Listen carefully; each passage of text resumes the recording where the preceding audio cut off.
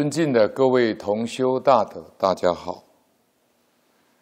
今天我们研讨《太上感应篇》汇编第二十五句：“济人之己，救人之危。”请各位同学翻开课本三百二十三页。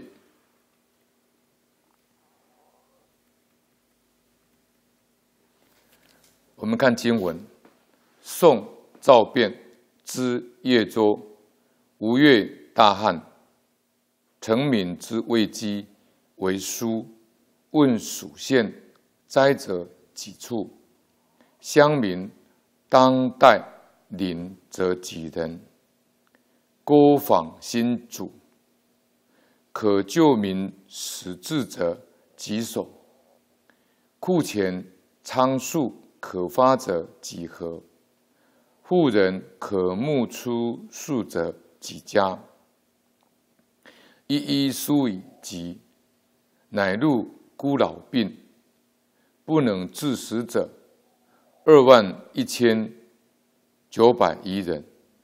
查故事，遂领穷人，当己数三千担而止，便减负。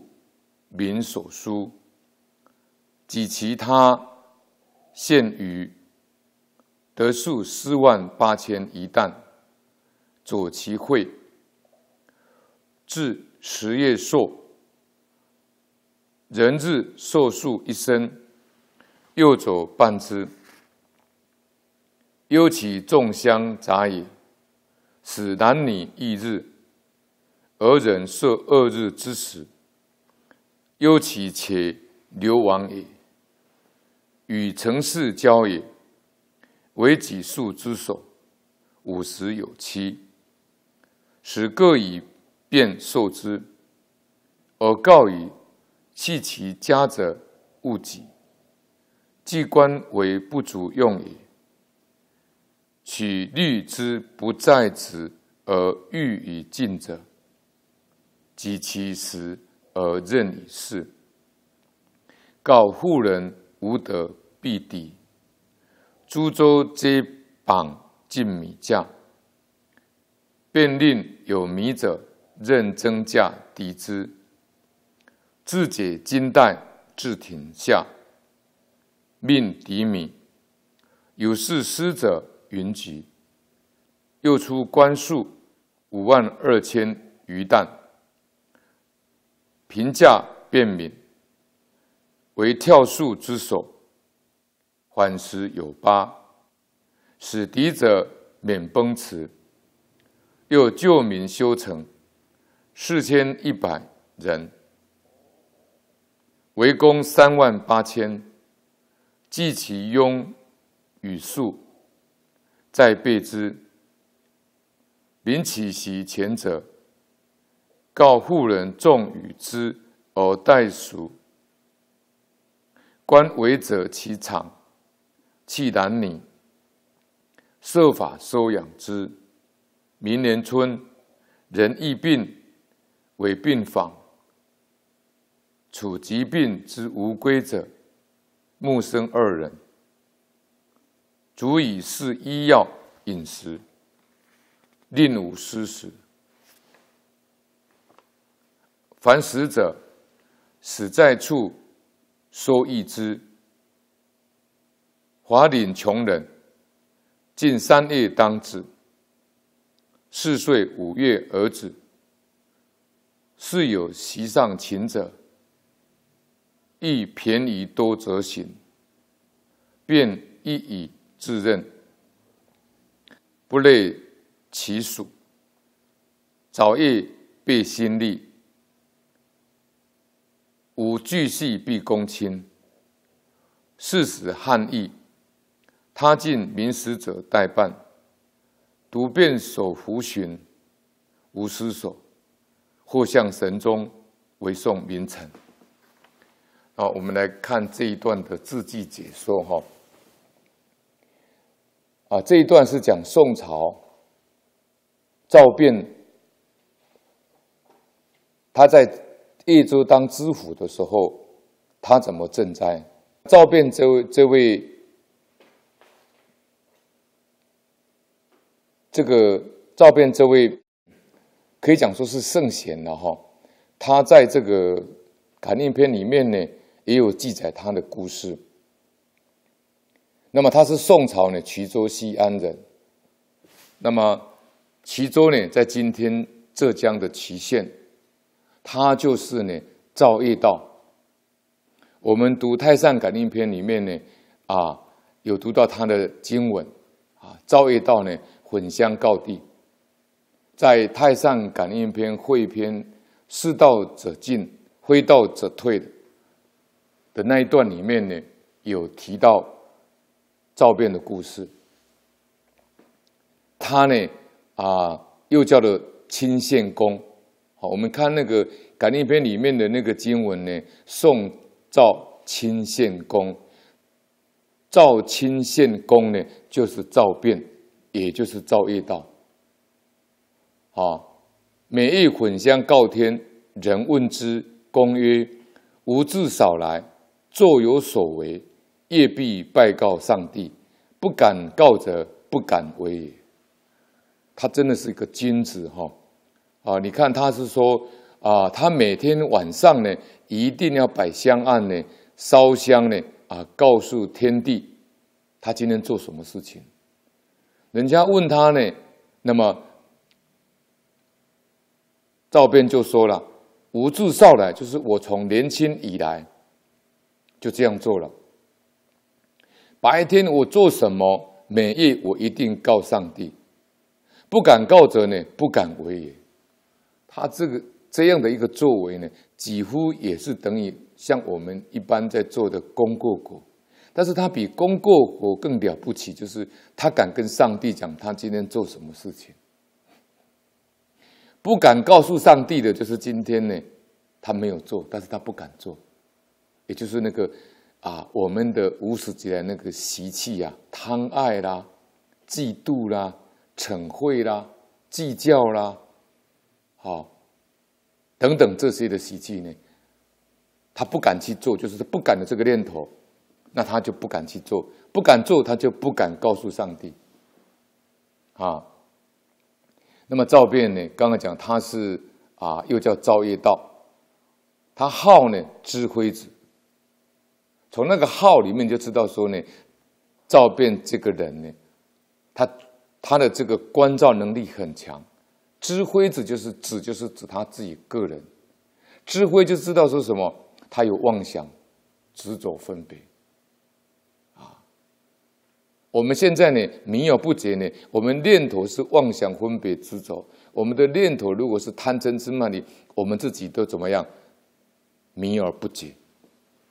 那圣人呢，他绝有不迷。所以他这个智慧的意思就是，他随时关到自己这个念头。啊，这个非常不简单。他好智慧智，他是宋仁宗景六年间的进士。那么人家称他叫铁面意思，意思呢就有一点像我们现在的啊，这个台湾来讲的话叫监察委员啊，那在中国来讲叫啊，好像是叫中纪委啊，专门调查风纪的，叫铁面意思。他死后呢啊，被追封为钦县啊，钦县啊，一般都叫称他叫赵钦县公。那么他在担任殿中呢侍御史的时候呢，他弹劾不避权贵，一些外戚的显贵呢有犯案呢，被他抓到了。那贵妃呢就请动这个太后呢来说情，也被赵辩拒绝。赵辩呢敢拒绝呢这个太后的这个请托啊。他还是一样弹劾，所以他在京城里面的生意呢，大家非常敬畏他，生意凛然。那么京师的人呢，就是朝廷里面的人呢，称他叫铁面义士，就不讲情的。但是因为他触怒太后呢，后来被放逐离开京师呢，去当什么益州转运使。转运使就好像搞交通的。办运输的这种闲差事，他呢生在宋真宗呢啊大中祥符元年，也就在一千零八年，记到现在大概是一千年左右。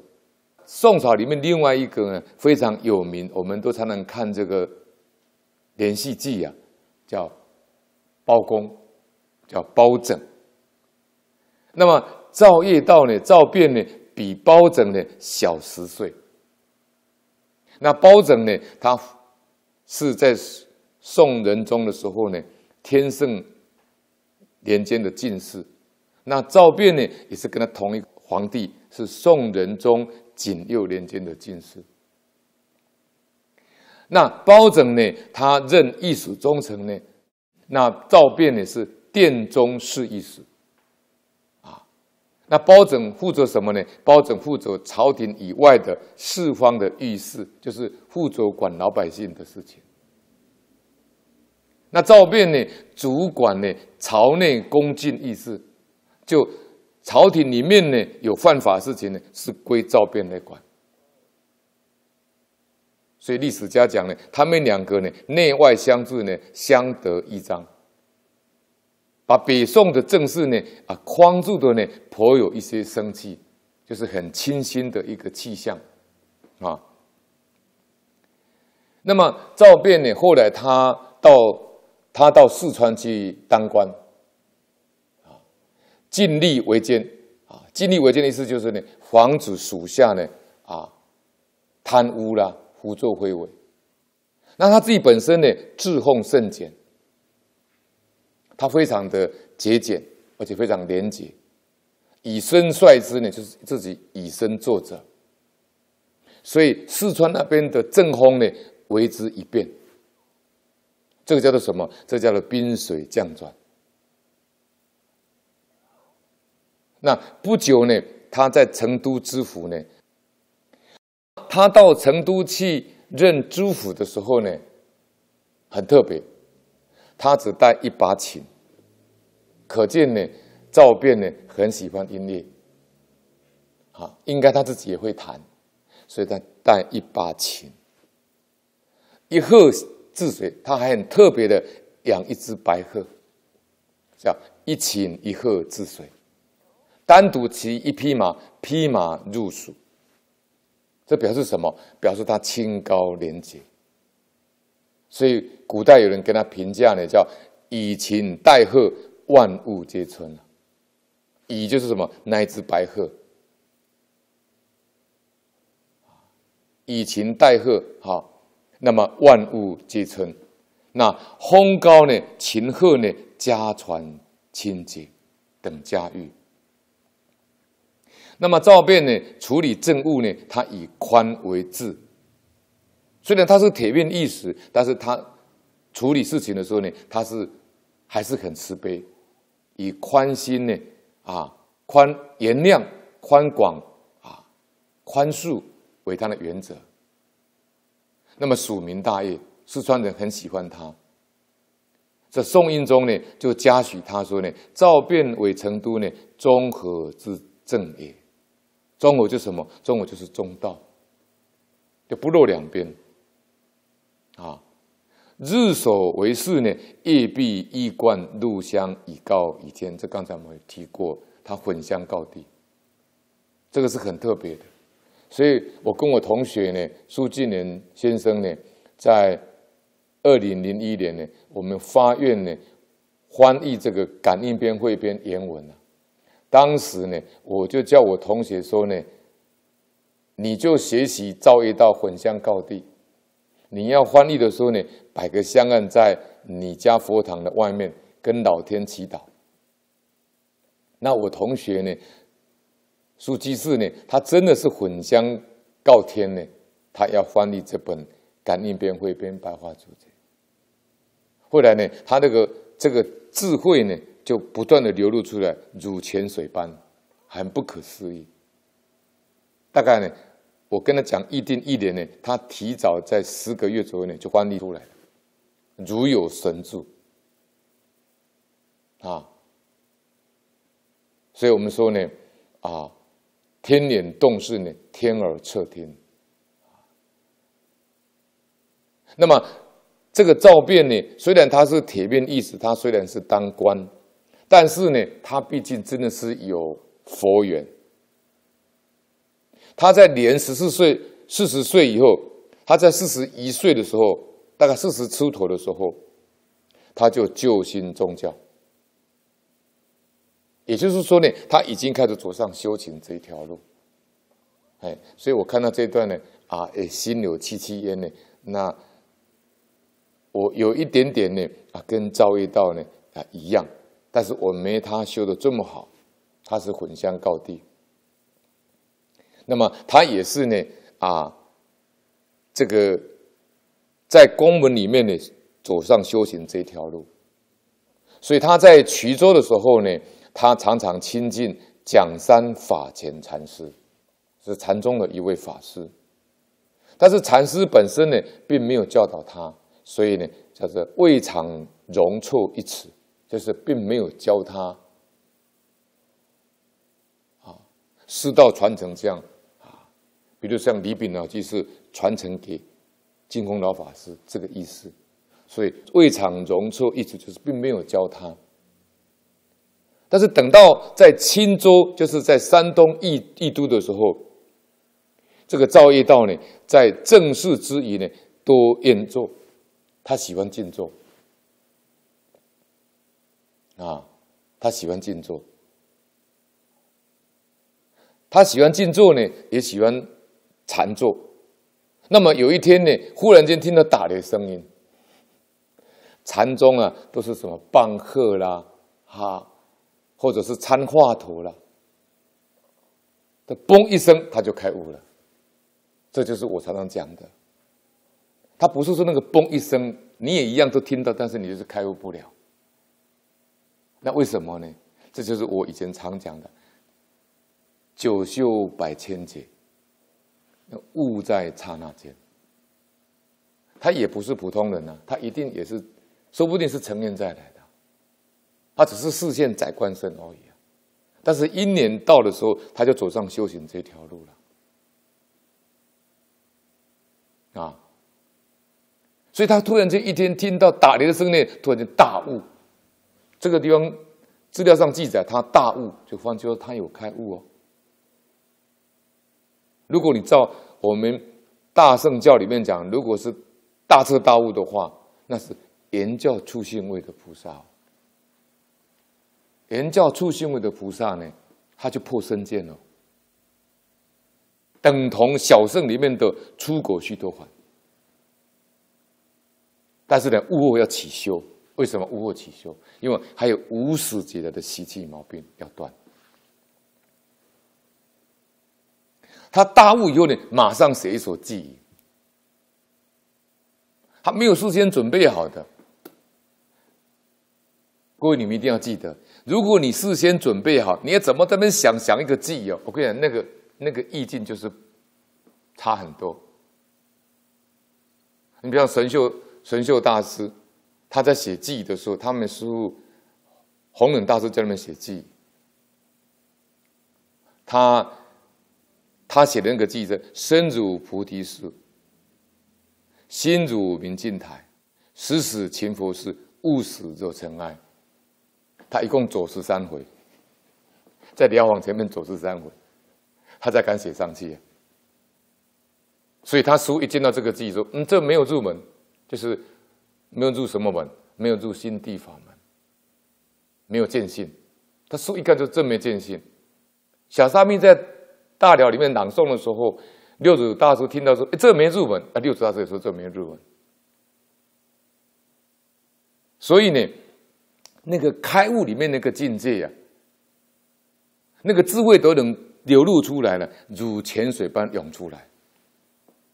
那个是不不必作意的，它是离心力式的，也就是离第六式的分别，第七式的执着，第八式的阿赖耶识，第七式执着是莫那。老和尚常讲离心意识参，他离开八世的。那什么人可以离开八世呢？你最少也要唯识学里面讲，初地菩萨到初地菩萨的时候，他第六世转成妙观察智。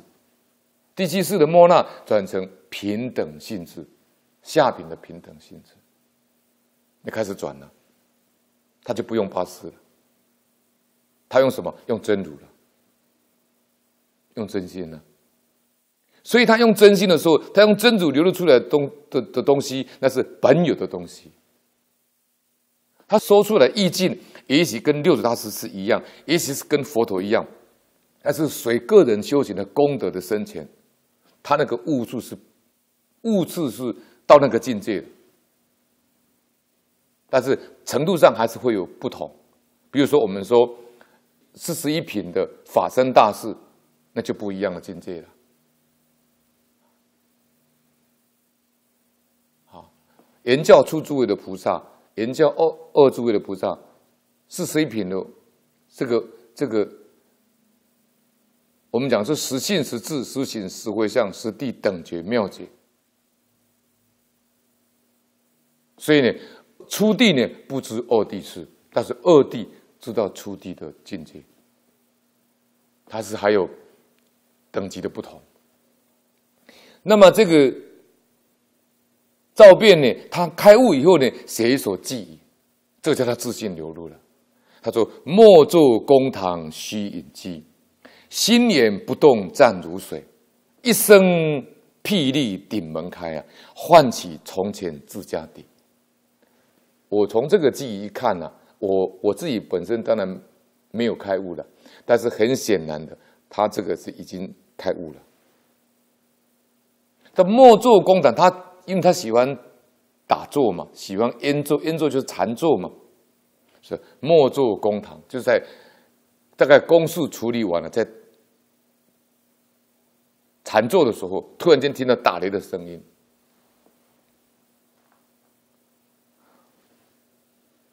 吸引机，什么叫吸引机？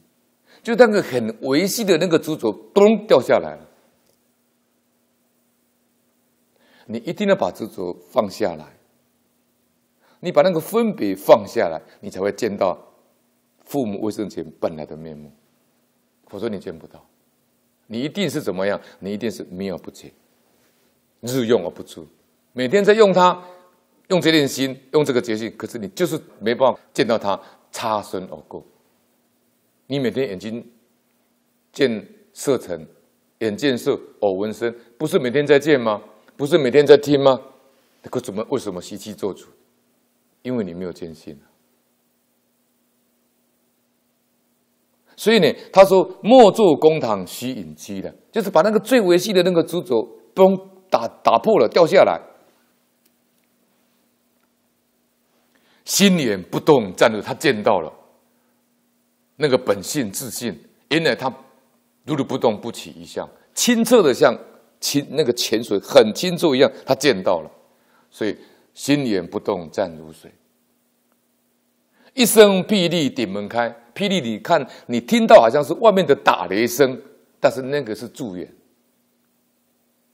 那是相，一声霹雳就是说，他把那个执着嘣打破了，就是一声霹雳。所以一声霹雳呢，顶门开，你看起来顶门好像在这里，就是他那个心门打开了。一声霹雳顶门开，唤起从前自家底。为什么是从前？因为我们每一个人都是本来就是佛啊。所以老和尚说：“我们现在是糊涂佛啊，每一个人都有这个佛性啊。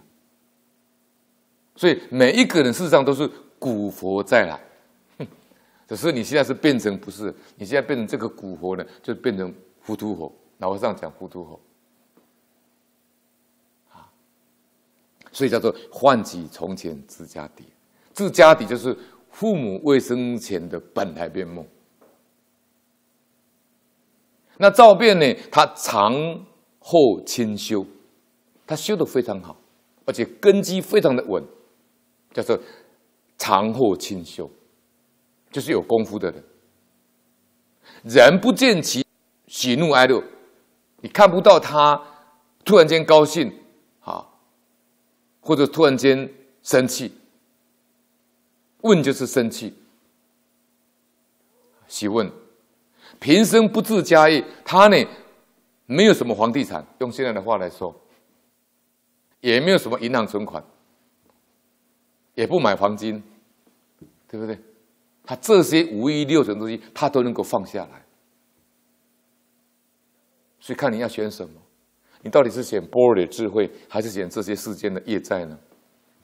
你钱多也是业债啊，你房子多也是业债啊，以后变成尔生争财产的一个标的啊，对不对？你你这个累积越多的资产，你是越放不下世间的爱欲啊，世间的贪爱啊。那照变是选择智慧啊，所以他常获清修啊。他不处生计是什么意思？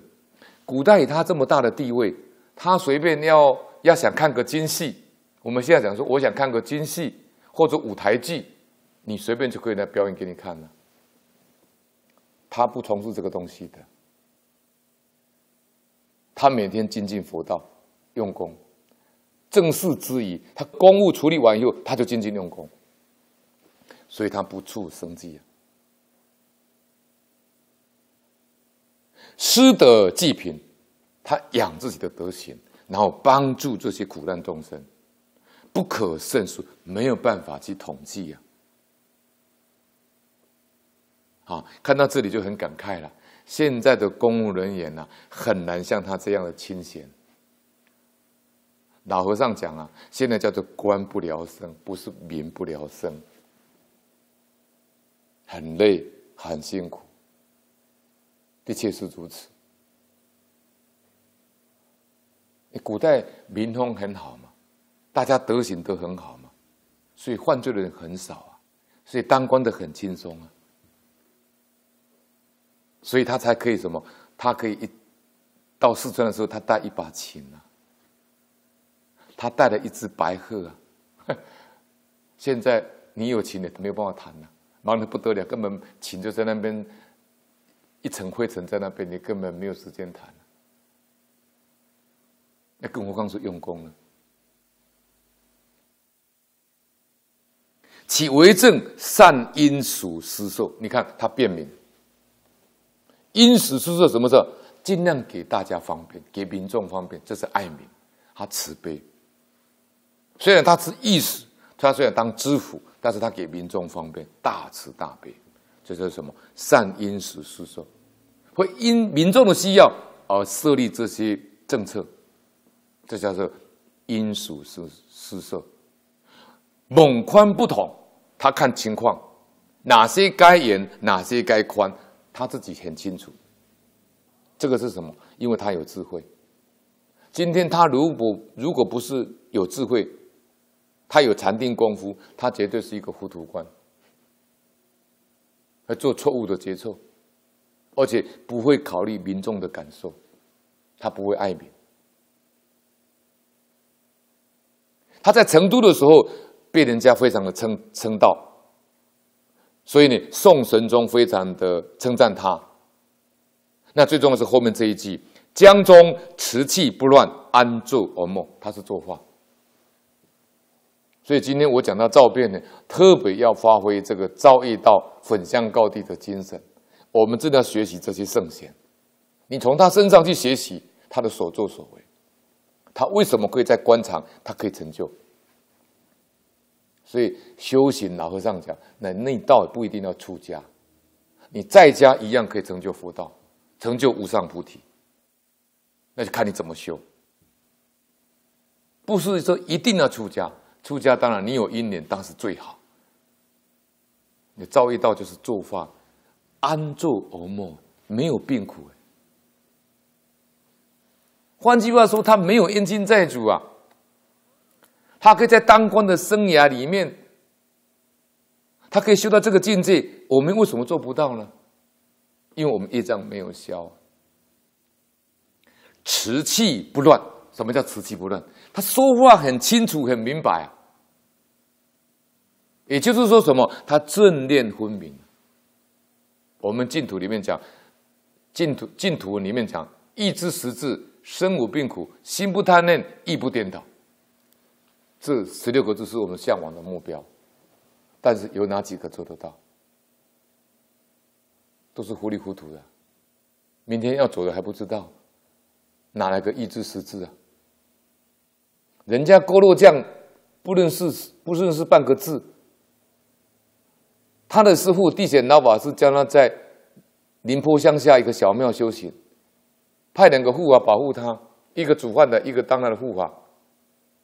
人家练佛练三年，还知道要走了，跟那个煮饭的讲说：“明天不用煮了，明天中午不用煮了。”他要到城里面去拜访朋友，他以为是要拜访朋友，哪知道是最后是告别，去辞辞行。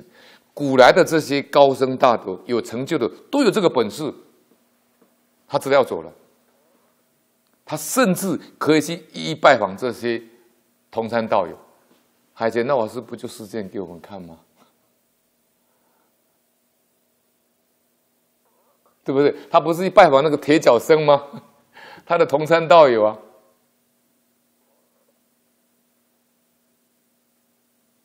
他除草的时候可以讲说不用再做了，他准备要走了。他说老佛爷叫我去了，那就是意志识字啊。老佛爷就是阿弥陀佛。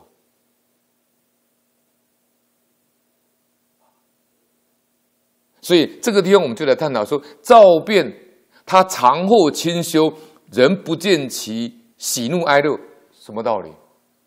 我们每天都是喜怒哀乐啊，我们心随境转呐，看到喜欢的马上就高兴的不得了，喜；看到讨厌的马上就生气，对不对？那为什么我们每天会有这些情绪变化呢？喜欢跟愤怒啊？喜欢跟生气啊？为什么会这样呢？为什么喜嗔喜你色呢？就在脸上呢？什么道理呢？我们要去搞清楚、弄明白，去把它找出毛病出来。那这样对我们修行才有帮助。那我们研讨照变的故事，那对我们就是帮，就是一个助缘。我特别去探讨照变为什么他常后清修。人家见不到他喜怒哀乐，后来我就把他引到《无量寿经》往生正因第二十五品，这一共有两段来形容照变。第一段二十五品里面讲，若多事物，比如说他当义士很忙，对不对？若多数就是他很忙，不能离家，就是不能出家。啊，也不容易到佛寺去共修，不暇大修斋戒，他没有办法什么？比如说，我们说去受菩萨戒啦，我们去修八关斋戒啦，他没有办法，他公务就处理不完，公事处理不完，哪里有时间到佛寺去打个佛七，甚至打个禅七？他喜欢打坐嘛，那就是禅七嘛。就是不暇大不暇大修斋戒。一心清净，有空闲时，那无量寿里面跟你怎么讲？一心清净，你虽然在家事情很多，不管你是做生意的，你是做老师的，你从事公务工作的，无量寿里面跟你讲，二十五品跟你讲，你一心清净，有空闲时，佛陀很慈悲，他说你有空的时候，有些人不是啊，他做公务员的时候，公务员全部荒废掉啊。所以我以前在当护问局的时候，我能体会这个道理，很忙啊，早上开会，晚上开会，明明晚上要讲经的，早上开会，下午开会，我公务没有像招变这么好，你说我会不会喜欢拿会？晚上要讲经的呢，连备课都没有时间，备课都没有时间，为什么？早上批公文就批到中午了，下午再开一个会，开到五六点。上一次几年前，悟行法师到我们讲堂后面金融国小啊，举办那个中空三十四殿，将近一千人在现场。我人在这个附近而已，公共电视台，我们台湾的总统选举，两个党在那边辩论，我是内场的副指挥官，从早上站到晚上。我连过来这边上个香都没办法，心里是急得不得了。人在那个地方，心在三十七天。到六七点的时候，心想还有第三十嘛，那么最好第三十来参加嘛。哎，我们的指挥官分享说呢，今天有一些勤务有出纰漏，不是很理想。六七点结束以后留下来开会，更更更更不能到现场了。就是这里讲的，你要一心清净呢，有空闲时还真不容易呀。那佛陀跟你讲，有空闲时怎么样？端正身心，绝意气忧。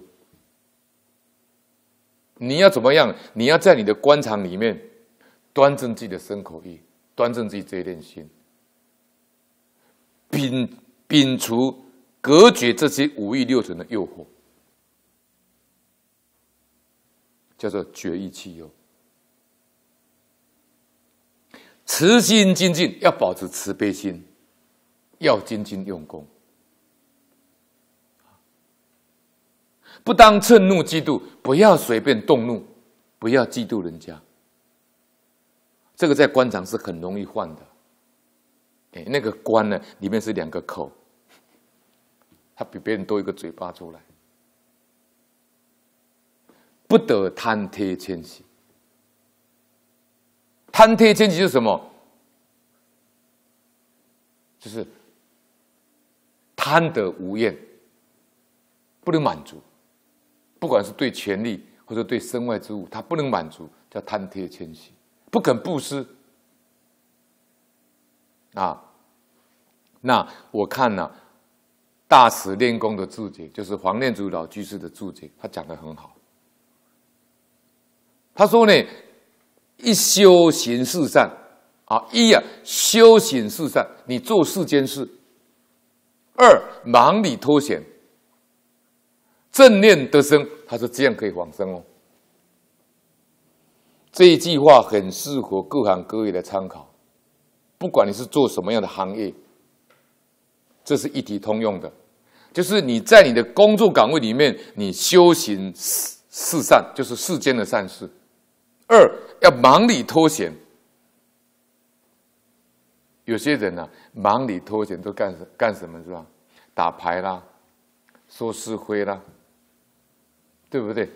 嘴巴造业了，是在那边打妄想了。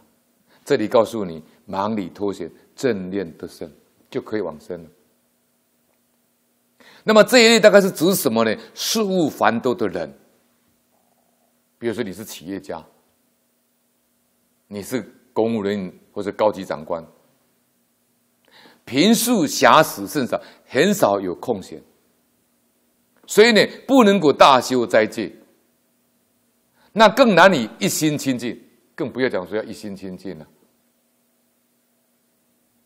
那么这样的人怎么办？当努力行善，而且呢，要忙里偷闲，善者时机，要选择时间。一言即修，看到一年了就要修行啊！不使空过，不要让时间空过，一定得往生，一样可以往生西方。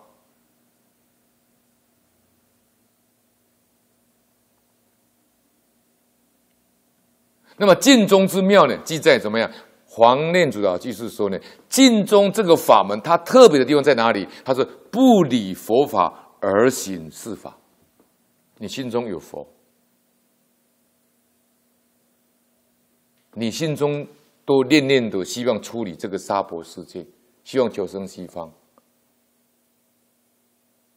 这叫这个叫什么？这叫不理佛法。每天每天都勤修戒天的，每天佛法不离这念心，佛法不断。拜火不断，每天在家里都有做早晚课，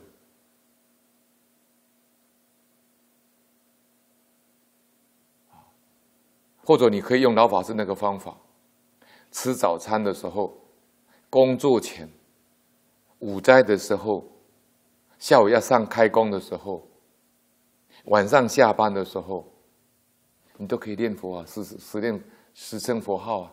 老和尚老和尚给我们的开的这个方便呢，你可以用这种方法。这也是什么？这叫不理佛法。好，不理佛法而行世法。你可以做世间事，但是你没有离开佛啊。那么不会施法而正佛法，你可以在成做世间事的过程里面，你成就你的佛果，这叫不会世法而正佛法。很多人不了解这个道理。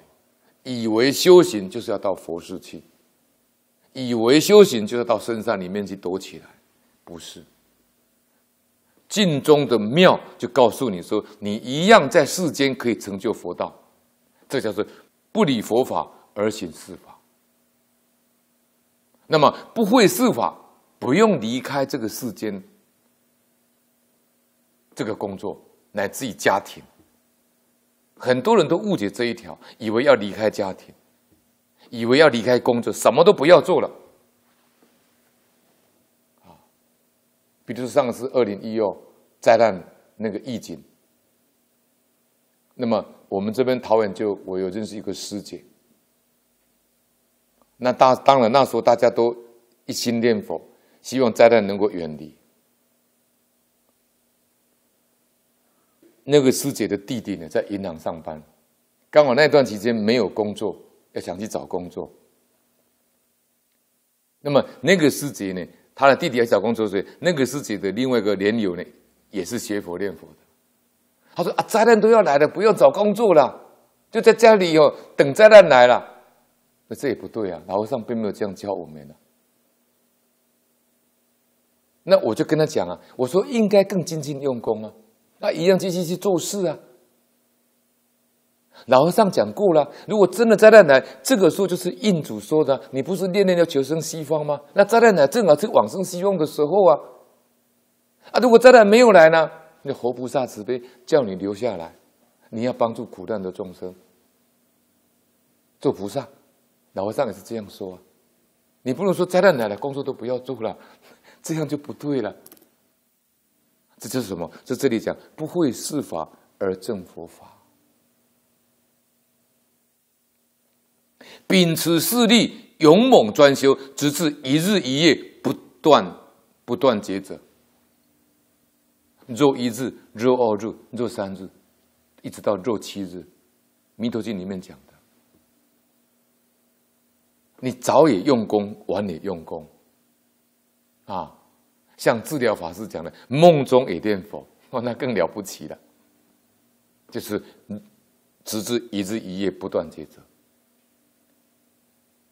念念的不忘记念佛，念念的没有离开佛，这样就可以了。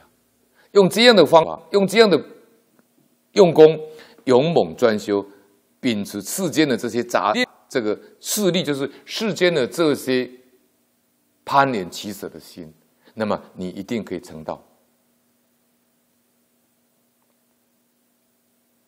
那么照变的这样的一个，他能够往生，能够作化呢？我另外再引用《无量寿经》第三十品，啊，三十品里面讲：无诸分别，远离颠倒，以所受用，皆无色起，便有佛刹，无爱无厌，亦无希求，不希求想，亦无。比我为愿之想。刚才我讲到照遍这个功夫，就是一般人很少见到他会有喜怒哀乐，就是不会突然间好像脸色很高兴，也不会突然间好像很生气，他不会随便有这种喜嗔显示在这个脸上。那为什么照变的这个功夫呢？我觉得呢，他最起码他有做到。第三十篇这个境界，就是刚才我念的这个经文。那黄念祖老居士怎么解释这一段经文？黄念祖老居士注解里面讲：“以所受用，自不希求想。”就是我们前面刚才念的那个经文啊。以所受用，皆无色起，便有佛刹，无爱无厌，亦无希求，不希求想，亦无彼我为愿之想。华念祖老居士说了：“从以所受用到不希求想，表什么？彼土菩萨平等有以十方佛刹，就是极乐世界的菩萨呢，他是用这样的一个平等的心呢，在十方佛刹显现示现。各位，你不要以为说十方佛刹就好像在很遥远，不是啊。彼土菩萨在哪里？彼土菩萨也不离开我们现在当下这一念心老法师说：“当下就是一真法界呀，当下就是极乐世界。”他说：“你气不进去呀。”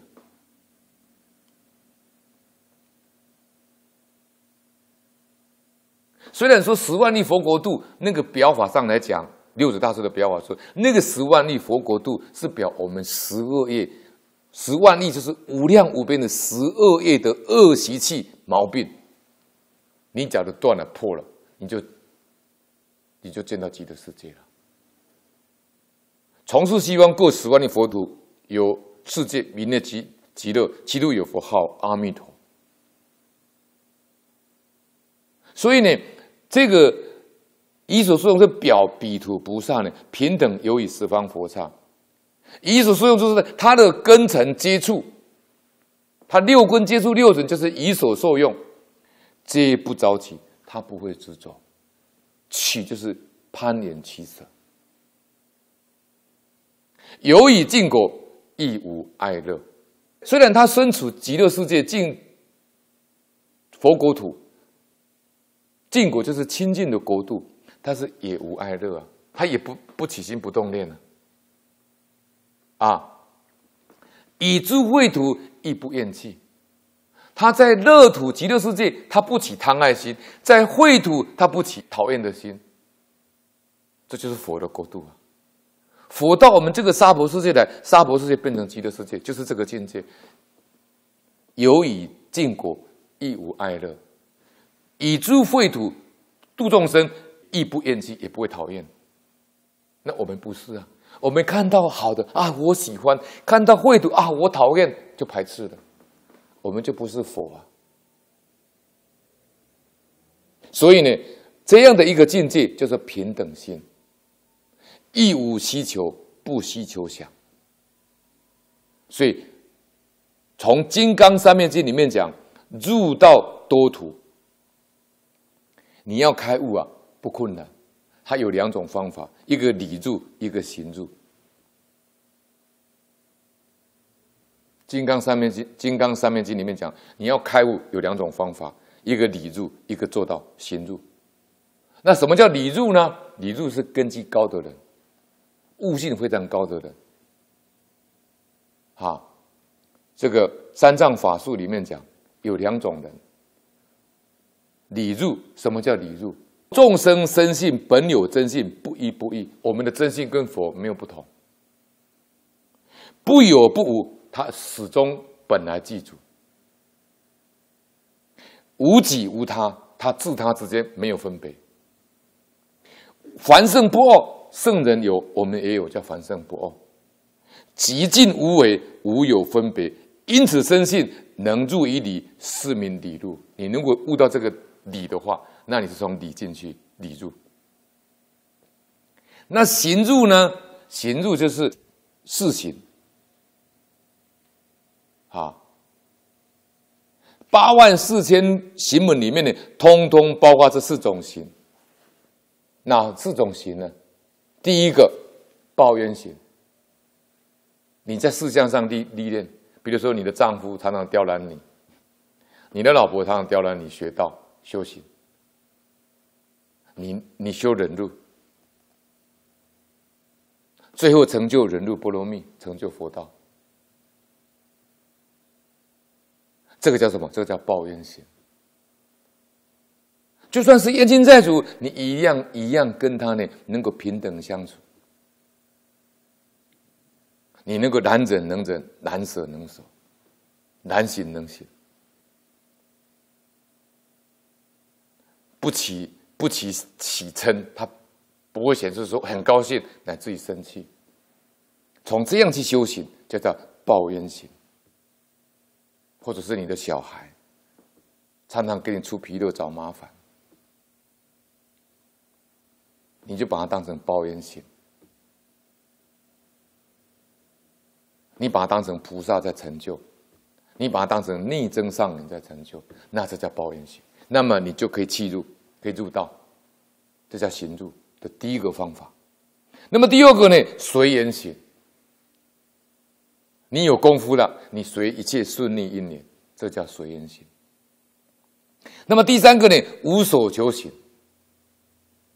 你无所求，你就有办法入道。那么第四个呢，乘法行，乘法性而做，顺性而为的正法行，这是最高境界。好，这个是行入啊。所以《金刚三面经》里面讲的入道多途呢，要不出二种：一理入，二行入。那黄念祖老技术解释说，这个行入有四种，其中的第三种叫无所求心，就是我们刚刚讲亦无希求，不希求想。希求是你要啊，好，亦无需求，不需求想。这什么意思呢？是说你没有想要求的心，好，或者说也没有说我不需求，没有，他两个都理。需求是要，不需求说我不需要。所以呢，黄连祖就是说呢，这个无所求心是什么呢？他说世间人常常在迷惑颠倒，处处就贪求、贪名、贪利，这个叫做求。那么智智慧的人呢？智者悟真，他要悟这个真心，安心无为，万有皆空，无所需求。因为你要了解这个万法的真相，说一切法，老和尚讲，毕竟空，无所有，不可得。你要悟这个万有皆空，悟这个道理，悟了以后，无所需求，无所求，这样才是真无求。真无求，那么这样的话呢，就顺道而行。故说呢，叫无所求行。所以呢，由上可见呢，无希求想即是无所求行。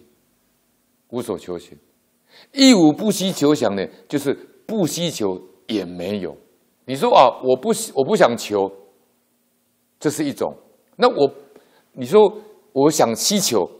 啊，但五是在前面嘛？希求是我要，不希求是我不要。黄念祖就是说，希求也没了，不希求也放下来，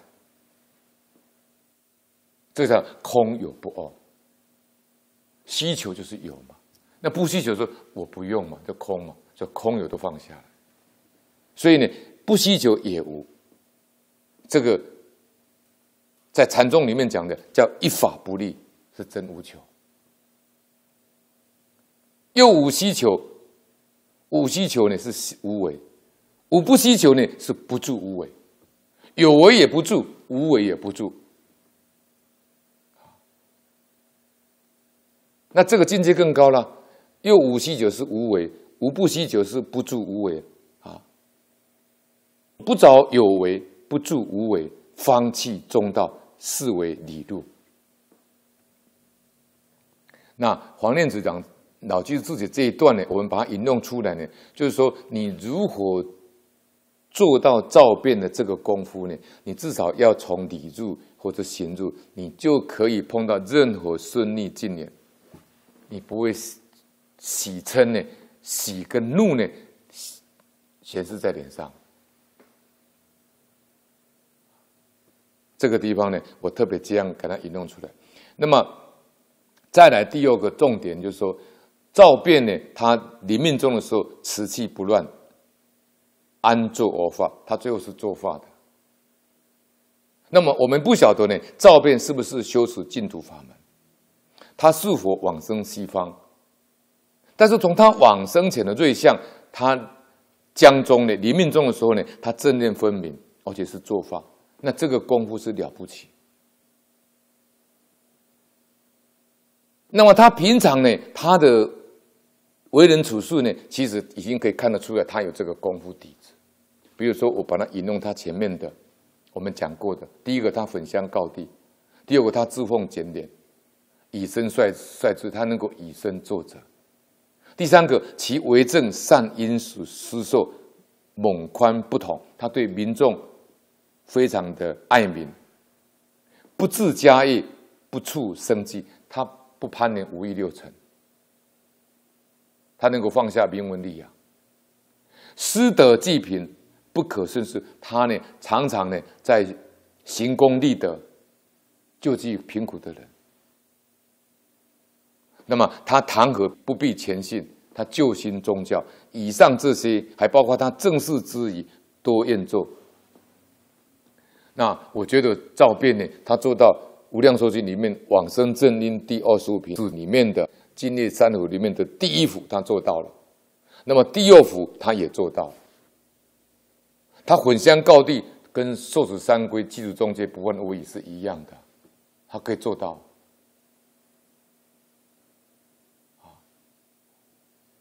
那么第三幅呢？深信因果，他也做到了。那么他的往生对象呢，也符合了《无量寿经》第二十五品。我们看经文：复之阿难，若有众生一生彼国，虽不能大精进禅定，尽此经界，要当作善。所谓一不杀生，二不脱盗，三不淫利，四不妄语，五不绮语，六不恶口。七不两舌，八不贪，九不嗔，十不痴。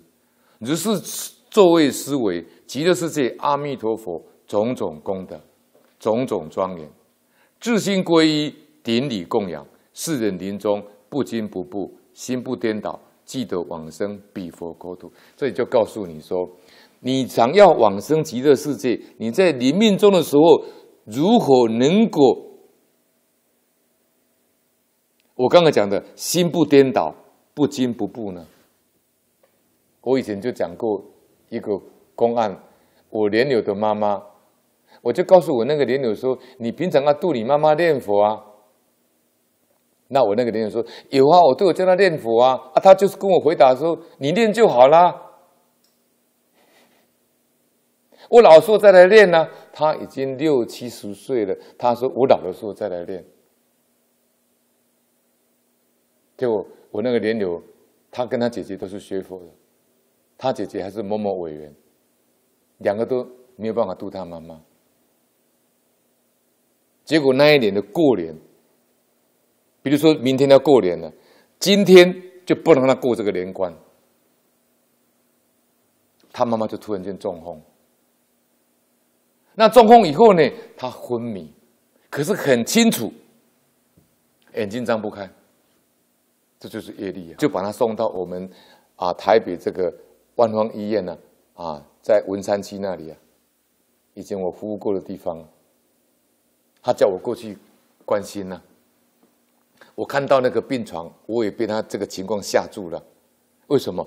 因为他他中风以后呢，他虽然医学上说他是昏迷，可是他很清楚啊，他是眼睛张不开啊，毅力不让他张开啊。所以他两个手就绑在后面那个床架上，两个脚也绑在那个床架上。为什么要绑起来？因为他要去抓那个管子啊。医生护士把他插管进去呀，他觉得很痛苦，他去拔那个管子啊。我请一个法师来，还有我，我们两个联手都没有办法安抚他。他一直什么挣扎啊？不是昏迷，怎么还会挣扎呢？就是这里讲的，临命终的时候，惊狂恐怖啊！那这里告诉你，佛陀告诉你，怎么可以不惊不怖呢？怎么可以可以做到心不颠倒呢？就是照变的，他作法，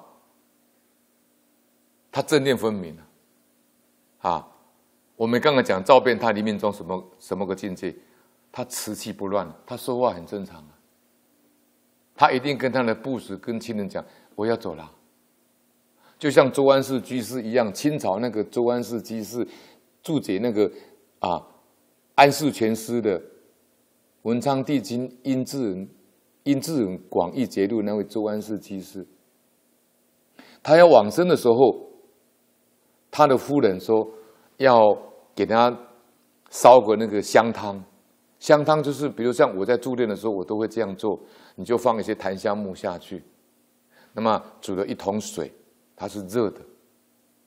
我们民间讲叫阴阳水，啊，那你在煮那个那个香汤的时候，你就放那个那个檀香木，它很香嘛，你就把它放到那个水里面去煮，它那个水就变成香香的。然后再加一点冷水下去，这样合起来呢，就可以跟啊。病人或是往生者给他擦拭，这叫木易香汤。周安氏老居士，他的夫人跟他说：“老爷呀，要不要给你沐浴香汤啊？”就跟他这个一样，此气不乱，要往生哦。朱安世居士也是这个境界哦，赵辩也是这个境界哦。他们两位都不是出家人哦。朱安世其实怎么说呢？他跟他跟那个他的夫人怎么讲？哎呀，我香汤沐浴已久矣呀。这什么意思？他每天都活在生活在五分法身香里面嘛，戒定慧解脱解脱之见香。那才是真正的香啊！所以我那个莲友的妈妈呢，啊，就把他送到万方医院以后呢，变成五花大绑啊，恐怖啊，害怕。这个时候他法都听不进去啊！不要说是要念佛啊，一句佛话都念不出来，你不要说十念必生啊，一句都念不出来，怎么能够见佛呢？平常没有功夫底子做得到吗？人家照背了这么多底子呢，混香告地，自奉简廉，啊，其为政，啊，便民爱民，不自家业，人家都做到这些功夫哎。换句话说，这个境界就平等就持戒了呢。有没有练火我不知道，因为我不知道他有没有修净土法门呢。所以佛陀跟你讲：世人临终不惊不怖，心不颠倒，记得往生彼佛国土。要怎么样？要前面那几件事情，要十恶也不能造，就是所谓不杀生、不偷盗、不淫逸。我跟你讲，这里还跟你讲不淫逸哦，不是不邪淫哦，是不淫逸哦。换句话说，这十条是菩萨戒呀。不杀生，不偷盗，不淫利，不妄语，不绮语，不恶口，不两舌，不贪，不嗔，不痴，这是菩萨界的境界呀。然后要怎么样？佛陀告诉你：如是作业思维，早也想阿弥陀佛，晚也想阿弥陀佛，极乐世界阿弥陀的种种功德，种种庄严。就我们讲相光庄严，自心皈依，而且怎么样？他自心要皈依阿弥陀佛，典礼供养。如果能够做到以上这几点，佛陀跟你讲，临终的时候可以不惊不怖，心不颠倒。方法就在这里。前面的十二位不能造，好。你不造那十二业。第二个，你要怎么样？你要作为思维，极的是这阿弥陀佛的种种功德跟庄严，就是那个每天都是法喜充满。你现在也可以做得到啊！你每天如果听净空老法师的课注，你照老法师讲，一天看三遍海贤老法师的这个故事。然后一天呢，最少一万声佛号，你只要三年五载，你就可以这个境界了。你就可以每天都每天活在思维阿弥陀佛的种种功德、种种庄严。你每天看到海贤老老法师的功德，那不就看到阿弥陀佛的功德吗？对不对？那么接下来自心皈依，顶礼供养。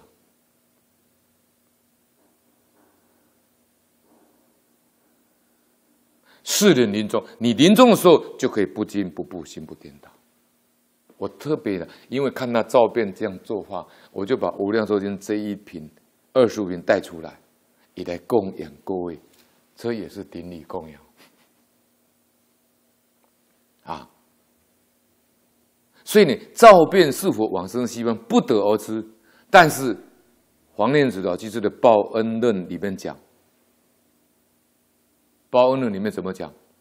凡是善行，皆可往生。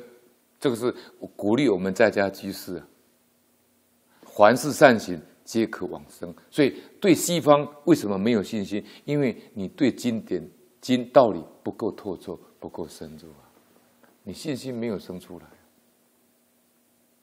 理不入，行也不入。刚刚讲入道二门，理入行入，你两个都要入啊。所以，凡是善行，皆可往生，但必常常念佛回向，即转世善为静因。所以，为什么你所有的行善功德都要回向到西方极乐世界？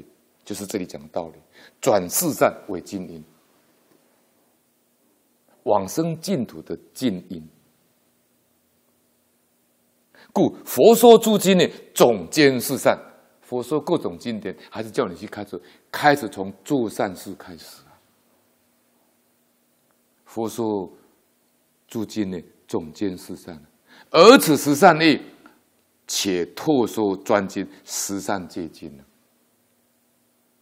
老和尚为什么推动三个根《弟子规》《太上感应篇》，还有佛说十善业道经，就是跟这里不谋而合。你没有十善之良啊，你能说不做吗？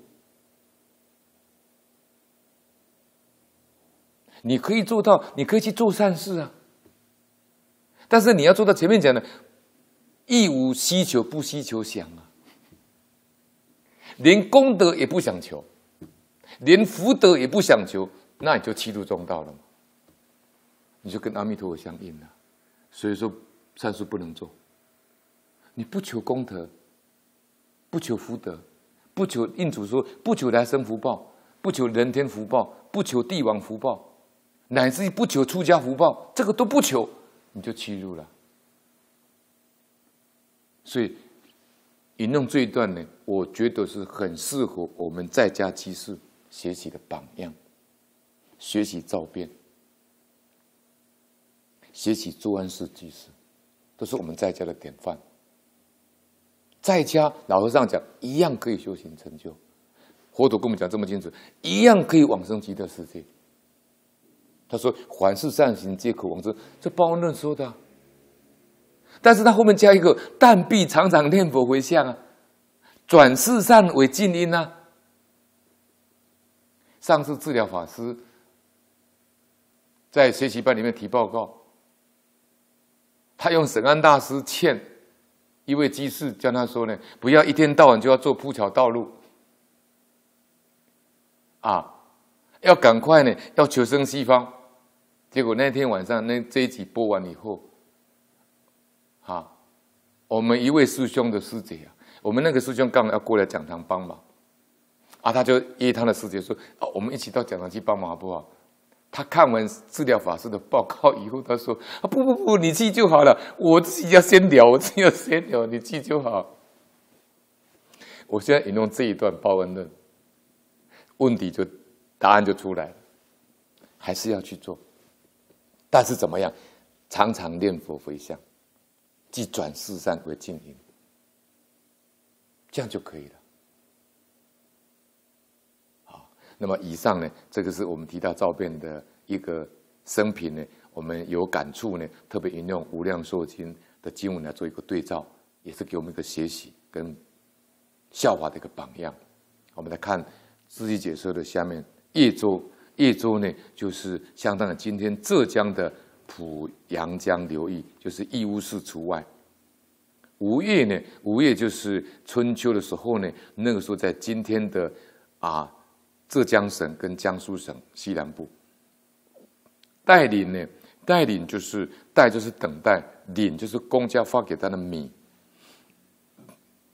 锅坊新竹呢，锅坊就水锅，提坊，新竹呢就是新建，可就这个就呢就是雇佣民工啊，这个意思。致使呢，事实就是说他可以自己养活自己的。啊，查故事，这个查故事不是我们一般讲的故事，他这个故事是这。因为赵辩呢，他去查这个以前的救灾的一些档案，所以查故事呢，就是看以前的惯例，以前是怎么做的，这叫查故事先例。那么税林呢，税林就是每年所发的粮食。那么检呢，就是啊，这个检是啊，这个检查检验。就是变检富民所书，这个检，这个检就是检查检验，书呢就是捐款捐献，献礼呢就是有银礼的税款，有结义。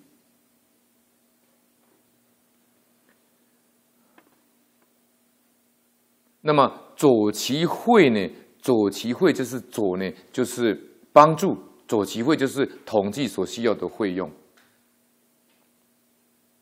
十月朔，这个朔就是初一啊。尤其重相杂，这个相杂呢，就是互相混杂。好，再看，再看过来，记官三百二十四页的第二行，记官，记官就是考虑啊，官呢就是关联。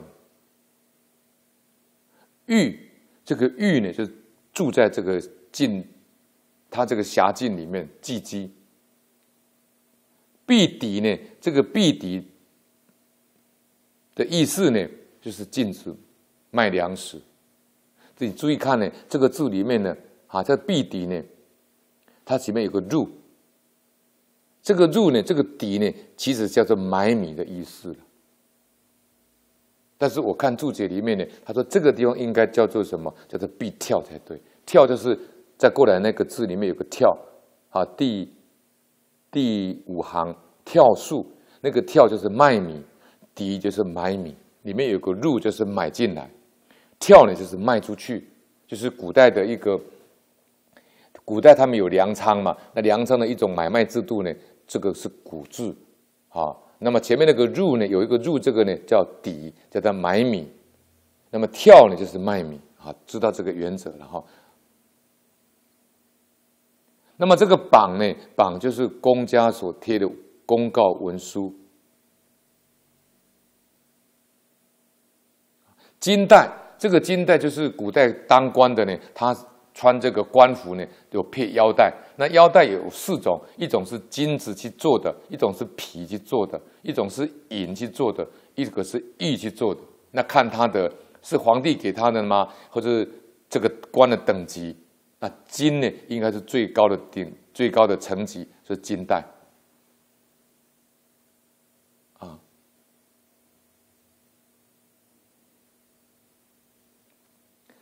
官数呢？这个官数就是啊，这一个官府的谷物啊。看第五行，这个官数就是公家的这个谷物。那么平价呢，就是平平易价格啊。那么跳数呢，就是卖出谷物。那这个再来这个救民，刚才有讲过，这个救就是雇民工，雇佣民工。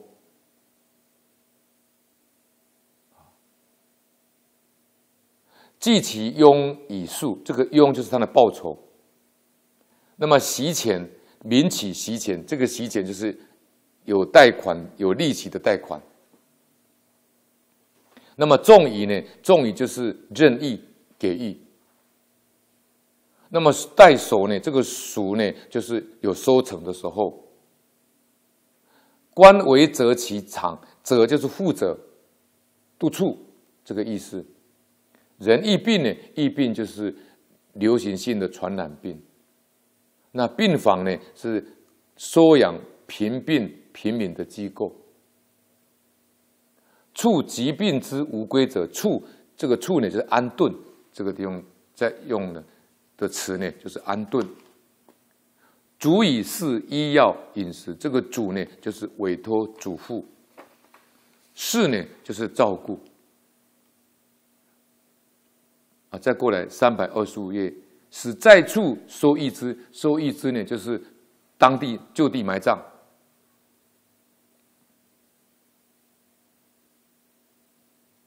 华领呢，华领就是啊，依照规定，公家发给的粮食。那么再来呢，上请就是向上级请求。执行呢，执行就是实行，啊，立即执行。那么再来最后这个啊，无计细呢，就是事情无大小。啊，代办那个。他郡民使者代办，这个代几乎了，几乎死了一半。抚巡呢，就是安抚存续；尸首就是流离失所，没有安身立命的地方。相神宗呢，就是宋神宗的宰相，这个意思。那我们来看这一段的白话。宋朝的赵卞呢，他在益州当知府的时候，哈，那么吴越这个地方呢。啊，发生旱灾，他趁着呢百姓呢啊还未遭到饥饿的时候，臣民之危机是民众还没有闹饥荒的时候，那么他就开始在整理资料了，为书就整理资料，他就问属属下的县官呢，他说呢受灾难的有几个地方？好乡民呢，当代领者几人？就是乡民里面呢，他准备领公家的救济民呢，有多少人？那么水沟跟堤防要新建的有多少处？那么可雇佣民工呢，来修桥、来做堤防的人啊，一共有几个地方要做？那么目前就是公家的剩余的这个预算呢，我们现在讲的预算啊，救灾款够不够？那么仓库里面的存米呢，可可以发多少？那富有人家呢，可以向那边募买白米的呢，有多少家？可见赵卞很会救灾。这我当过公务员，我晓得他几乎全部掌握。这真的是一个好官，而且非常有智慧的好官，清楚明白，而且知道重点在哪里。所以这个叫做。就是不理佛法而行世法，他真的做到了。他心中有慈悲心，就是有佛。他把众生都当成佛，他才会这么关心、这么关爱。现在很需要这种照片、这种啊节俭又清廉的好官。他一一都把这个资料整理在资料上里面，然后他又去访问、登记孤老病。孤独的独居老人，生病的，不能够自食，是不能够养活自己的，二万一千九百人，一总共调查有两万一千九百多人，啊，这真的是视民如商啊！查姑是他按照过去救灾的惯例，啊。每年分给穷人的粮食大概是多少？是当几米？当应该给这个米呢？是三千担，三千担。那么赵卞呢？他就查看户家所捐献的白米，以及户税的收入及其他县里，他总共得到的白米呢的库存量呢是四万八千担。换句话说呢，他超过惯例里面的三千担。那么，补助他的费用，做期会统计所需要的费用，从十月初一开始，每一个人一天可以发给他数米呢一升，然后幼小的小孩呢减半，啊，又怕他们在灵敏的时候呢互相推挤，没有次序，所以他把它分开，男女意日就是不同一天，比如今天是男众，明天就是女众，啊，然后呢，他规定每人一次呢只能领两天份的食食物，又怕那些流亡在外的人呢领不到。所以他在城市跟郊区呢，啊，就是荒郊野外呢，他特别给他们发放白米的地方呢，他设五十七处。你看他多慈悲，他怕这个住在比较远的地方的乡民呢领不到白米，要走那么远的路，啊，使过以便说之，他让他们每一个人呢都很方便的可以拿到米。并且告诉他们说呢，并告以其弃弃其家呢，则勿己。就是他的子女已经离开他们的家的人，不能够领米，可能在外地谋生。总共呢，估计要发给这些正粮的这些官员，他不够用，计官为不足用。取利之不在职而欲以尽者，他这。找那些呢，他已经不在官场上的，也就是可能是退休的，或是离职的这些官员呢回来，但是他还住在本辖，住在这个辖境里面。他给他们食粮，叫他们担任这个事情，叫己其死而任以事，并且告诉富人呢，无德必抵。他告诉富有的有钱的人呢，不可以买进谷物来囤积，就是赚灾难财。告富人无德必敌，就是你这些有钱人呢，你不能趁机呢把谷物买进来囤积，而且各州呢都贴榜公文，禁止这个米抬抬抬哄抬米价。那赵扁呢，他命令有米的人、有粟米的人呢，如果你任意加价，就是任意涨价。买卖的话，那就公公家呢就把这个米买进来。你要涨价嘛，我会跟你买进来，哦，减少民众的负担。而且他自己呢，照变呢，把皇帝赐给他的金袋，他都放在庭上，表示他的决心。啊，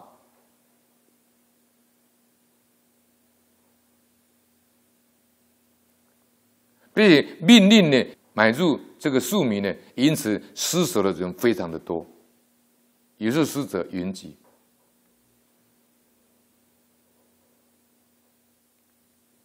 又将官方呢啊五万两千担的米呢，他平价卖出去，方便老百姓。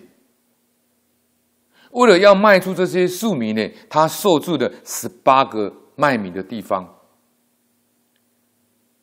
使买米的人呢免于崩坡，使敌者免崩驰，就是使买米的人免于崩坡。他又雇佣民工呢来修这个城墙，一共用了四千一百人，总共呢啊做了多少公次呢？做了三万八千次的公次，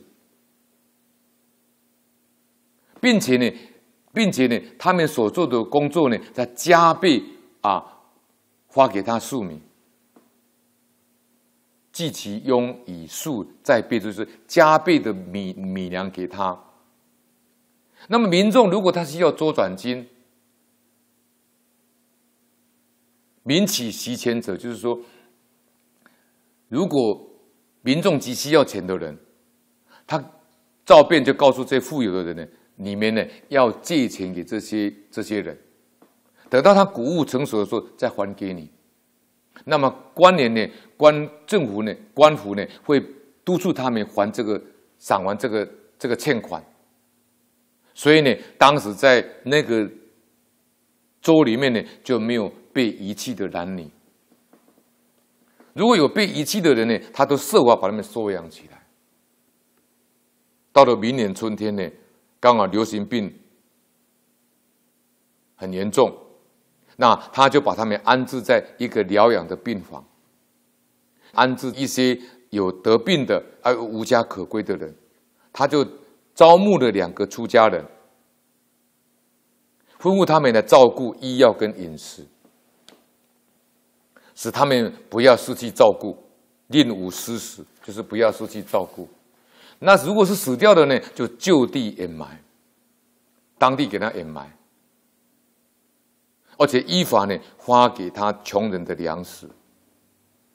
到三月为止呢，为了多救一些人呢，他拖到当年的五月才停止。从这个地方呢，我们可以看出呢，赵辩呢，他做到秦书资料里面讲的，他真的是把老百姓当成什么？当成自己的小孩，所以古代为什么征政务官叫父母官，就是这个道理。那秦书教里面怎么讲？故善为国者，欲民如父母之爱子，如兄之慈弟也。你怎么去治理国家？你要把老百姓当成自己的小孩啊，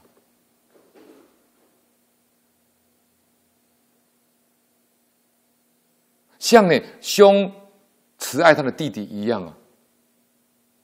见之饥寒，你看他寒饥寒，要为他哀伤啊；看他劳苦，要为他这个伤悲啊。这个叫是视民如伤。那么遇到有事情要申请的话，他尽量给他们方便。这个呢，我在大陆汶川地震的时候呢。我到汶川去赈灾，我每次都会提到这个事情。中国呢，在这个部分做得很好。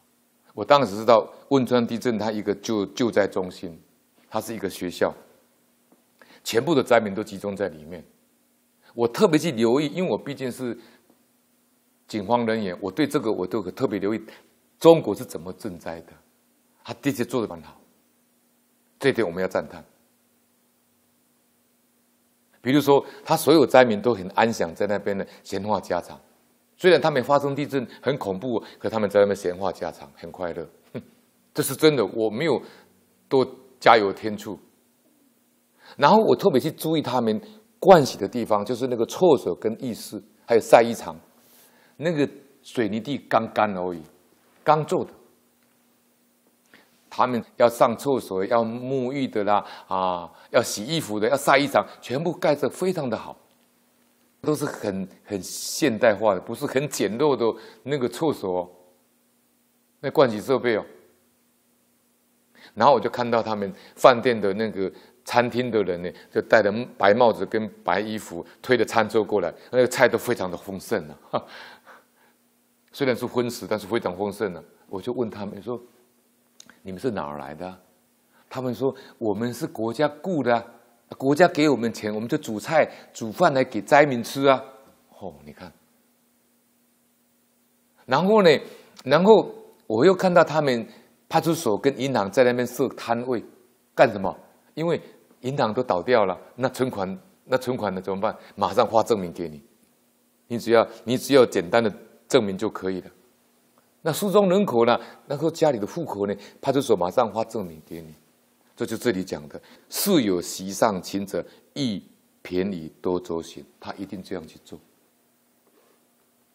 好，所以这个我们说实在话，中国在赈灾方面，他们的这个，他们那个深入啊，还有那个迅速啊，还有那个关怀民众的安危啊，我看都比美国好。你看那个电视播出来，那纽约进大水，民众真的是处在水深火热之中啊。虽然美国是个很现代化国家，那个救救灾速度慢如牛步，没有电，没有水，民众苦不堪言。两个都是大国，啊，这一比较就出来了，两个一比较就出来了，美国是民主国家。他还是自称是民主国家呢，还没处处讲人权呢。所以呢，我们看到照片的这个赈灾故事，其实是通于古今的。你不管是古代、现在也是一样。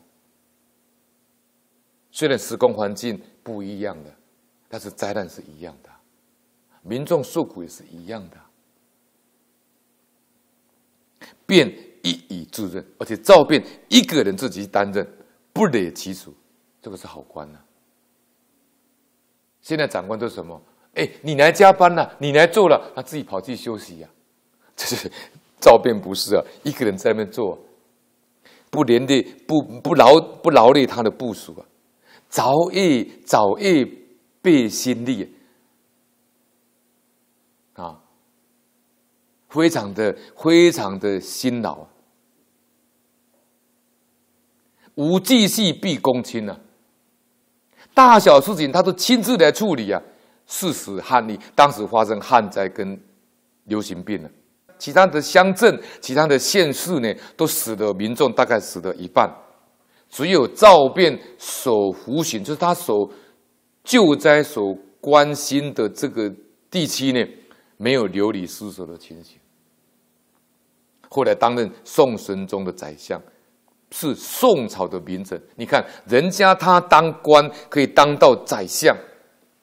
往生的时候作画，事法也圆满，出世间法也圆满，所以为什么我今天特别要介绍赵业道他的故事，就值得我们公务人员学习，值得这些当官的学习，他是了不起呀！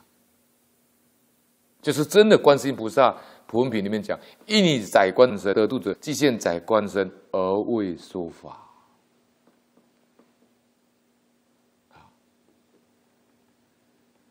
那么，刚才我们有提到赵辩呢，啊，他那个开悟记，啊，还有他往生的这个情形。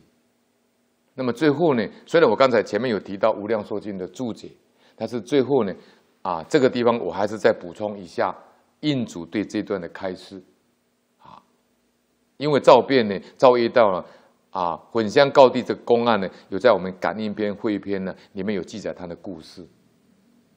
所以赵业到呢，啊，这位菩萨呢，他跟感应篇也是很有缘。所以我把它讲的比重比较多。那么接下来呢，我就引用呢，啊，印光大师的开示，也鼓励我们在家居士，在家怎么修行成就佛道，能够往生净土。印光大师开始说，他在写给傅慧朗居士书里面讲，他说圣贤所说的话，都告诉你怎么克己复礼，这是儒家说的。那么重点是什么？为圣王念作狂，为狂克念作圣。这句话什么意思呢？虽然你有佛性，但是你你迷而不解，你就变成什么凡夫嘛？就是。为圣妄念作狂嘛？你没有不解，妄念就是妄念妄想。你没有不解嘛？就是你虽然是是有佛性，但是你迷惑颠倒，迷有不解啊，那就变成什么凡夫了。我们常以前常讲，一念无明生三系嘛。境界为言长六出，就是这里讲的为圣妄念作狂。那么为狂克念作圣，那怎么样呢？就是要格物致知。儒家讲格物致知，格此物欲，格此五欲六尘的诱惑。老和尚讲的贪嗔痴慢疑，五欲六尘，自私自利，这些都要远离。所以呢，你必须要克服这个习气，就是为。狂克练作圣。那么接下来印主说呢：积善之家必有余庆，积不善之家必有余殃。做善降之百祥，做不善降之百样。这是古代儒家易经里面讲的因果的道理。木从省则正，祸从见则胜。木工要把木头系用一个一条黑绳拉直一个，掂一下。它一条黑线出来，就从这样去系木头就直了。这叫木从省则正啊。用我们的佛家的观点，你如果遵照接力，那这样就中规中矩了。就叫木从省则正啊。那祸从见则胜，你只要听得进去，这个是讲王王圭呢，唐朝四大名相呢，他是王圭，他跟唐太宗建立。后从建则盛是唐朝四大名相王圭，他呢当建立大夫，他跟唐太宗建立，就是他引用这句话，就“臣闻木从省则正，后从建则盛”，用这句话。他跟唐太宗怎么讲？他说：“古代圣王旁边都有七位征臣呢。什么叫七位征臣？旁边都安排七位谏官呢。如果你现在是一个公司负责人，你最好安排七个都帮你。我们现在讲叫做乌鸦嘴啊，是俗话讲叫乌鸦嘴啊。那 这个是台湾的礼仪啊，就扮演黑脸的角色，专门跟你讲缺点。哎，董事长你这样这样不对哦，那样那样不对哦。”哎，长官，你这样不对，这样不对啊！他说，古代的圣主呢，旁边都有七位征臣，征臣就是建立大夫，但是他都是为皇上好。啊，这个叫做“是是故呢，古者圣主必有征臣七人。结果后来皇帝昏昏庸了，这七个人都不用，所以说相继死亡，就是什么“言而不用，则相继已死”啊。他就跟他讲，他说：“陛下，你英明啊。”你肯采纳我的意见呢？周老就是什么？就是割草的人。我这个是乡下人，我讲这个话你能听进去？这个叫周老。他说：“我的意，我的意见你都愿意听进去呀？”啊，愚蠢，甘冒不会之之之草。我甘甘冒说你是皇上，我是我是大臣，我跟你建议啊。十愿庆起狂鼓啊！唐太宗听了以后很高兴啊，就交代下去：以后宰相以下的人讨论国家大事，旁边一定要配一个谏官随入。所以为什么唐太宗他叫魏征能够写秦书之约是有道理呀？他英明啊。可惜他是因为老和尚讲他情子太重，爱他的夫人呢，他到第一去啊，还杀了很多他的兄弟啊。他要不犯这两条，他是不得了。但是也因为有情书之约，是他在处理第一啊。这是老和尚在讲经里面有提到过啊。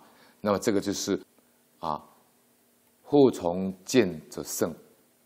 你看印祖他的儒家底子非常的好，你印祖写的开示里面呢，真的每一个字每一个句都是充满智慧。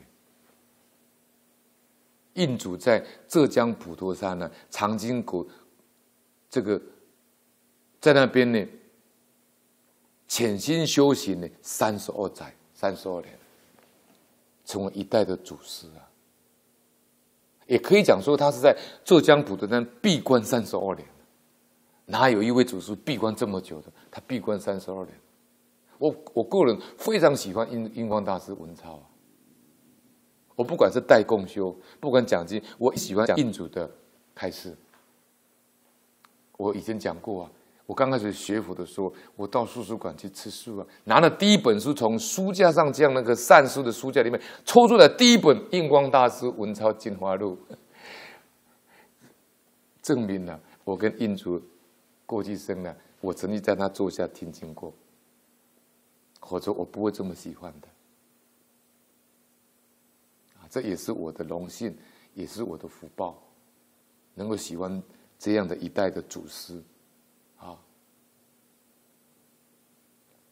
大家称赞他说呢，他是大势至菩萨再来的，啊，所以你看印祖说“木从省则正，后从见则胜”啊，印祖真的是深入经藏啊，不只是佛家通达，儒家也通达，我们老和尚现在是这样，儒术道通达。印印主最赞叹的就是《太上感应篇》，文昌帝君印制印了数百万册啊，当时还引起很大的误解啊。所以你佛家的出家书为什么印这么多？这个道家的书呢？乃至于儒家的书呢？印子不为所动，他毕竟是圣贤，高瞻远瞩。他知道，他当时讲七十年后杀父杀母杀夫杀妻杀子层出不穷，就是我们现在现在啊，我们现在就是这样，难道不是吗？台湾就是这样啊，杀人、杀父、杀母，已经不是什么平常事啊。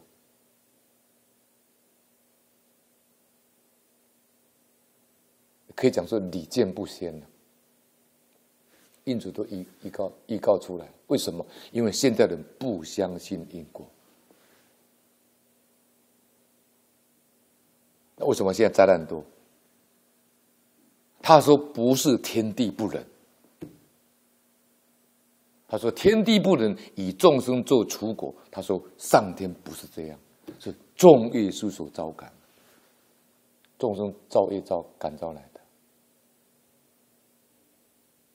所以印主说惠敌己从逆凶，这个惠敌己从逆凶呢，也是儒家的啊。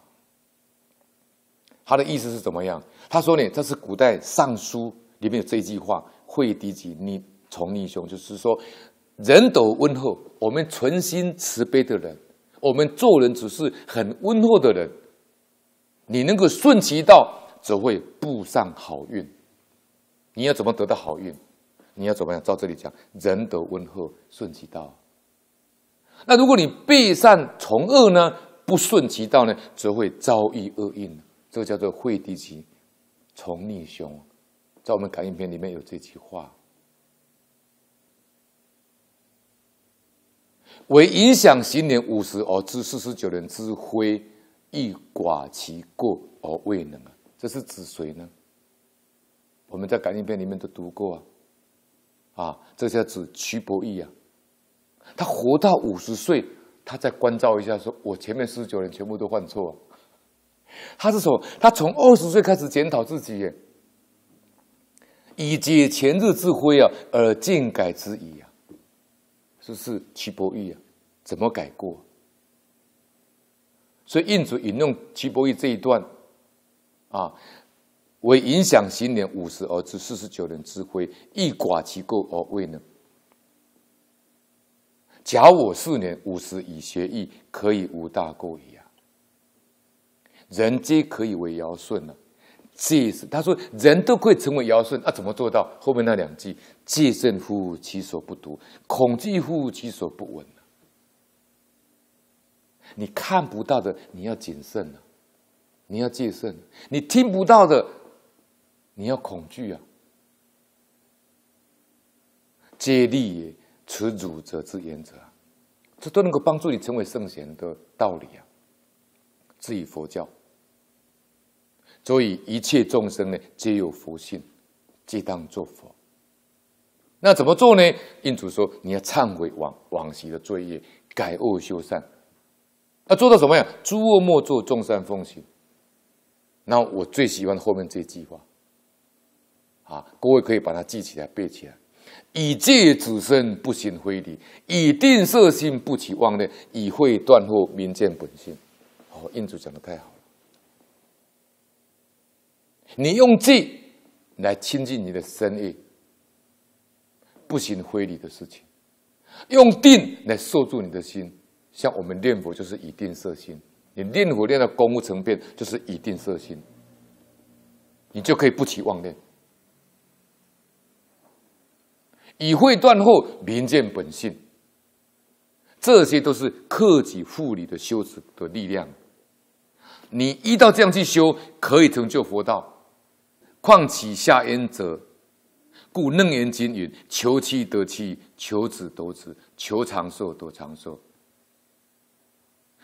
求三昧得三昧，如是乃至求大涅盘得大涅盘。”他说：“如果你能够这样去修。”不止世间法可以得得到，求妻、求子、求长寿都可以得得到；出世间法求三昧得三昧，求大涅盘得大涅盘，甚至乃至成佛、就近佛果，都是怎么样依教修持而得，其力之大，何可限乎啊？他说：阎廖环遇到孔先生，前头算他的命都准，所以他就认为命是命定的。等到他遇到银谷禅师，银谷禅师告诉他今日修持，他发三千善，三千善一万善。孔先生算的通通不准，一毫不应。可是印主说了，阎良环他只是一个闲人哦，如果他妄自非为呢？就是阎罗王，如果他妄自非为的话呢，那孔先生算的也不准了，就前面那个福报也没有了。是故呢，圣贤训示呢，为众修持。圣贤告诉你，也就叫你修行。佛陀教你的，如来教人也是如是，亦复如是。所以大小全实法门，无非令众生断除犯妄之祸业，测证本机之佛性。故是有极以极顿者，修持久久，即可得大智慧、大辩才。这句话是勉励我们的。如果你能够学造业道，如果你能够学言了法，你虽然说你很笨，你你很钝，很愚昧，印光大师说，你假如这样修持下去，你一样可以得大智慧，得大辩才。这样会明白吗？好，我们接下来呢，剩下一点时间呢，啊，我们来啊看老法师呢对这段的一个开示。老法师怎么说？这一段的故事呢，老法师对于啊《感应篇》里面的开示里面呢，啊每一段里面其实都是我们学习的啊。老法师说呢，《感应篇》这这一篇文章呢，它是从圣贤发心立愿的。《感应篇》告诉你的是叫你发心立愿，然后呢落实到日常生活的待人处事一样落实下，就像我们刚才在写照片一样。他你你如果学照变，你就可以学照变的精神落在日常生活。如果你是也是从事公公务工作的人，啊，所以呢，他说呢，古德说呢，这一本经就是感应篇，它是可以切实超凡入圣的的阶梯。古德怎么说感应篇呢？他说它可以作为超凡入圣的阶梯，转祸为福的关键。所以有些人呢，就有一点点呢啊轻忽的感应篇汇篇。他说呢，中国过去每一个朝代，有很多人按照这一篇下去修行，成就很多。我知道中国大陆呢，很多人在收看这个节目，在看这个感应篇汇编这个讲座，也很多人得到利益。我呢也是在学习，呃，可以讲说，一开始我就讲就是共修共学，我自己也在成就我自己。我我我没有在教大家，我是大家跟大家一起学习。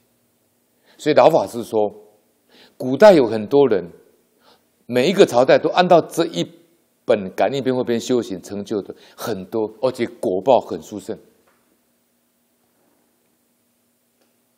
他说：“你们看到这里面引用的这些公案故事，他们得到的善报，他们造恶业所得到的恶报，他说收集的非常丰富。他说实际上呢，这些公案呢，它数量还是很少，但是呢，感应的事迹呢不胜枚举。他说，只要我们细心去观察，都在我们的周遭环境里面。”何尝没有这些故事发生呢？就像我现在平常在讲感应篇，我都记得这些现代公案呢，对不对？有很多因果故事啊。所以老法师说呢，我们只要细心去观察，都在我们的生活环境里面。我们怎么可以说我不相信因果呢？我们怎么会说我不相信感应呢？那既然是这样。我们要不要依教奉行呢？对不对？这是第一点，老法师对这这个感应篇的开示。那么老法师第二点说了，他说印光大师把这一本感应篇，他在感应篇当做修学净土的基础，很有道理。我们刚才引用很多印主的开示，对，刚好跟印印光大师文章结合在一起。是理不碍事，事不碍理嘛？印主说的都是理嘛？也许我刚才练都很深啊。我们说印主的儒家底子很厚啊，佛家底子也很厚啊。但是我们看到这些感应篇的故事，这就是事啊，就是因果啊。那事理是圆融是相通的。所以印净空老法师说，老法师说，一个人如果能真正奉行感应篇，念佛求生净土，决定有把握。这句话记起来。他说，假如他能够奉行感应篇，然后他又念佛求生净土，就像我们刚刚讲佛陀说的，你可以去行世间善，但是要常常念佛回向西方，那就转世善为静音，跟老和尚讲的一样。他就决定往生有把握。如果你所作所为跟感应篇完全相反，那我就说念头也不能往生。所以感应篇是一一把尺，是一个标准。就为什么中国东北那边的共修王他们会用感应篇做公过果，也是有道理的。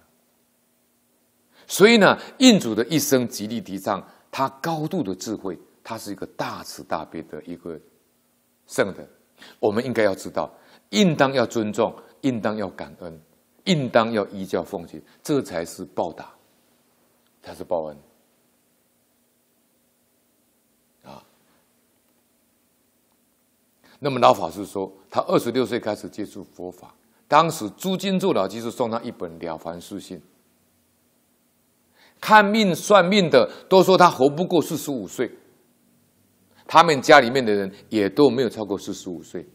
他说，他也老和尚说，他也能接受。他说，老和尚说他没有福报，他是过去生没有修复，这是老和尚谦卑。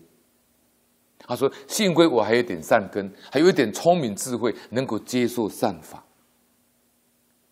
当年我读了朱金寿老居送给我的《了凡四训》，还有感应篇介绍给我。他说，老和尚说我读了很感动。我知道自己的毛病，我就改过自新。我学忍住，学忍让，到现在还有这么一点寿命，好像还有一点这么福报。老和尚很谦卑啊，老和尚福报很大。老和尚说：“这个不是前生的，这是我这一生所修的。”老和尚说：“实在讲，我得力于印主的教诲啊。”这三本书我通通讲过好几遍了。有一个同学问老和尚说：“请老和尚再讲一遍。”老和尚说：“好。”他说：“大家学佛功夫不得力，练佛不能功夫成变，参禅不能得禅定，言教不能过圆解，就是大开眼界。原因在哪里？”要把这个原因找到，消除这个因素，无论修学哪一个法门，功夫就得力。那是在哪里？在因果啊，在改毛病习气啊，那自然而然功夫就得力。那我们今天呢，就讲到这里。如果讲到不妥之处呢，请各位同修大德批评指教。阿弥陀佛。